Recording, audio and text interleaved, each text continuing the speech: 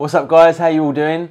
So I've got a little bit of an experiment going on over my shoulder, uh, that side there. Um, there's an HP laptop that you can't really see because of the, uh, the blurring that goes on because uh, I'm using the DSLR because all you guys seem to love this kind of uh, this kind of video type. But basically what I've got is I've got like an HP laptop and I'm actually installing Lion on it using some tools that I got from a specific website.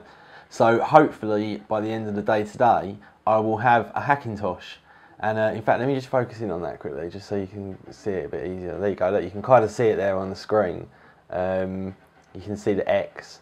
You might even be able to hear the, the CD drive whirring away there as well. So yeah, basically that's what's going on. Uh, it's an HP laptop, it's a really old one. I think it's a Centrino Duo or something like that with 4 gig of RAM. But I think it would run Lion fairly nicely. So it'll be interesting to see if it works. And if it does, I'm going to uh, put it up for a giveaway for you guys. So hopefully we can get this thing working and see how it comes out. Now I've put the drivers on that I'm hoping it's going to require, but I'm pretty much guaranteed that I'm going to have to mess around to get things like Bluetooth, USB and um, Wi-Fi and all that kind of stuff working. But I'll let you know anyway in a sort of future update. Anyway, that's it from me, guys. Hope you're all having a good day, and I will see you all in the next video. See ya.